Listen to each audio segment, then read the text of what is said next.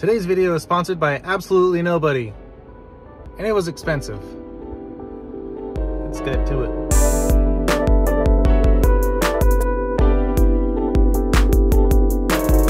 Welcome back to the Make It Modern YouTube channel. Currently we are in our guest room slash office, about to redo it for the second time. Yep, you heard me. First time didn't really work out too well. Anyways, let's get right on into it. The first step that we did was use a couple coats of Kilz Basic Primer. Now this went on very thick and it needed to because the green that we used was very, very dark. Ultimately, we ended up going with Pure White by Sherwin-Williams and that color was amazing. It was the perfect sheen and we actually found it from another renovation channel here on YouTube, the Brownstone Boys. So shout out to them.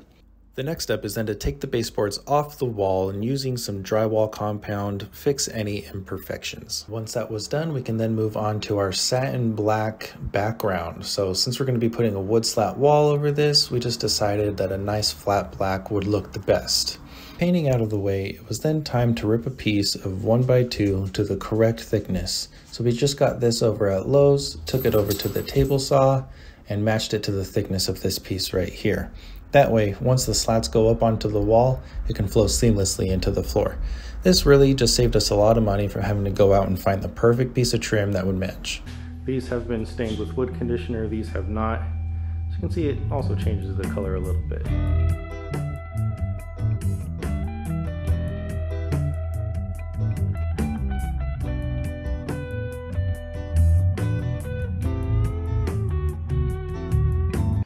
Once the staining was complete, it was then time to painstakingly and one by one put the boards onto the wall.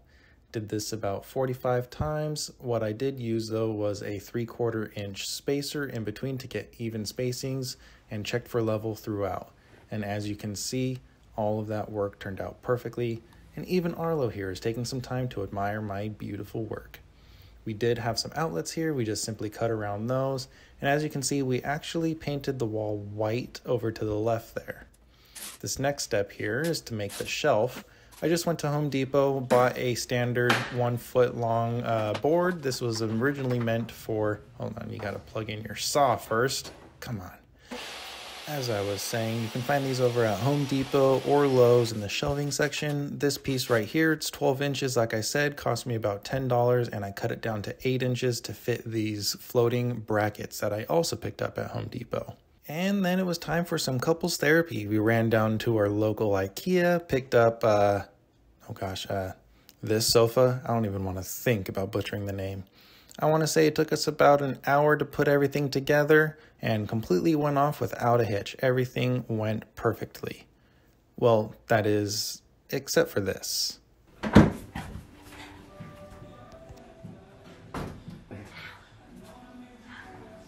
you kidding me right now? How'd I give you a hand?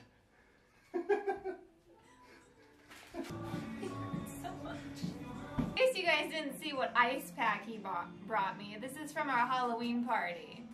This was supposed to be helpful. Knowing that Hannah would not perish from her wounds, we inevitably moved on to finishing the couch. And we picked this couch, one, because it looks great in the space, and two, because it folds out into a bed. So whenever we have a guest, they have a comfortable place to stay. Further completing the office side of the build, we went with this beautiful 60 inch two tiered desk. It even has LEDs. You know us, we can't resist a party. And for the monitor on the desk, we went with Samsung's 32 inch smart monitor. Now this one's pretty nifty because it has Netflix, Hulu, Amazon Prime all built in. That way when a guest comes over, they can just simply log in and watch all of their favorite content.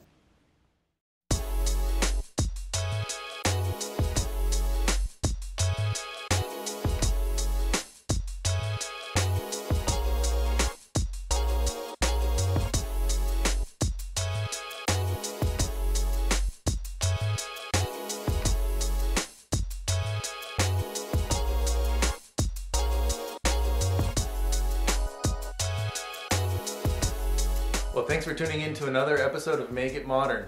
YouTube thinks that you like this video, and we do too. So go ahead and click that and make sure that you like and subscribe, and maybe comment down below what you want to see in a future video. Until then, see you next time.